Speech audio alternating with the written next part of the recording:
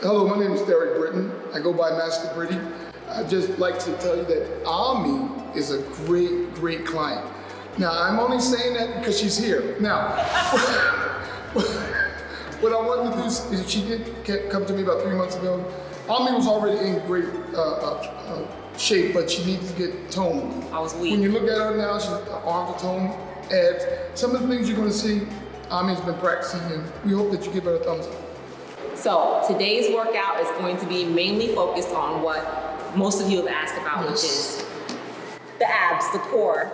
And I'm still working on that. I say that to you guys, and a lot of you are like, what are you talking about? No, I am still working on that. Okay. That is the, the hardest part after having kids, getting yes, your core strength. So I'm still working, trust me. And he, he, he will tell you, I am still working. She's doing really good.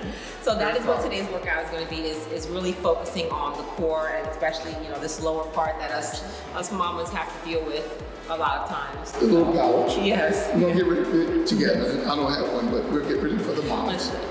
Try not to look at him because he's going to make us all look bad. Just try not to look at him do the workouts. Watch me so you can see the struggle.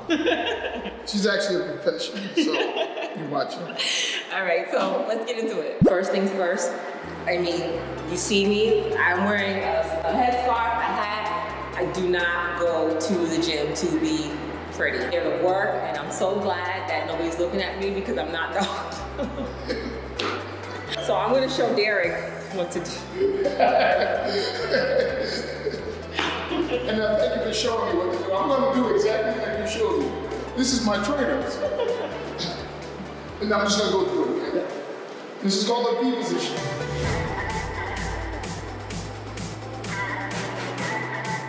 I always say this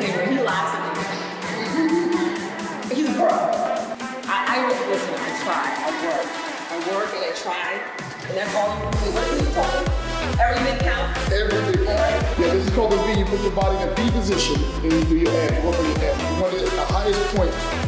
Tommy?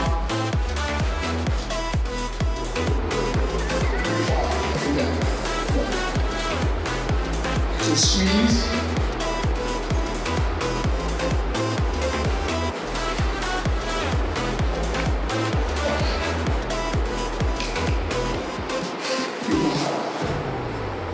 I can't even talk. That's how hard this is. This is like, oh. Go to the highest point.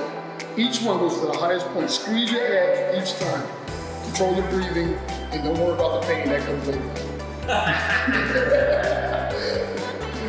this is what we do in the gym for real, so it's no different. Listen, I fight. I always tell people And